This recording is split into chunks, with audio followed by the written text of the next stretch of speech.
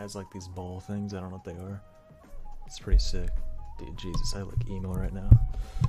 It's bedhead, bruh. Yeah, it's pretty sick. It's pretty cheap too, so it was like handmade though. Like I think it was like on Etsy or something. I just need like a snowboard hat because I don't usually. Uh, I was kind of stupid about wear helmets when I snowboard because I'm like, I'd like the same experience at it, but uh, if I'm going off ramps and stuff, I'll probably wear helmets. But I don't know. It's pretty cool. I think I'm gonna wear it the remainder of the stream.